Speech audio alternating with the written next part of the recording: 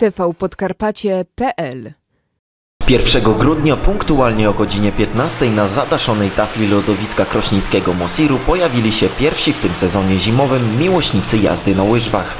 Już w pierwszych godzinach funkcjonowania zmodernizowanego obiektu zainteresowanie było bardzo duże. Obiekt będzie służył mieszkańcom codziennie nawet do końca marca.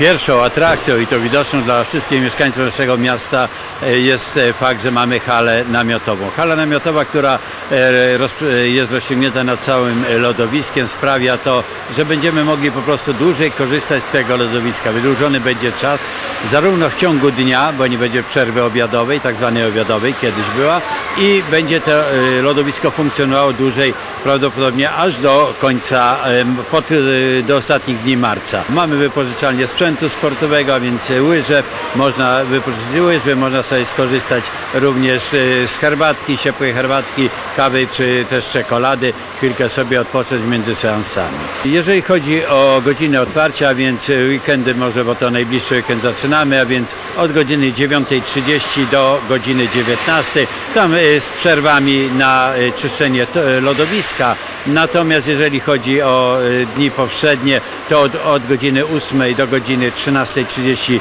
y, dla szkół zorganizowane grupy będą korzystać.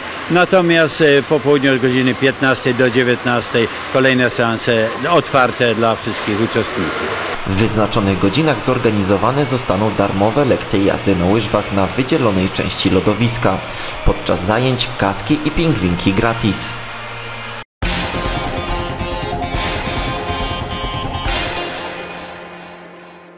tvpodkarpacie.pl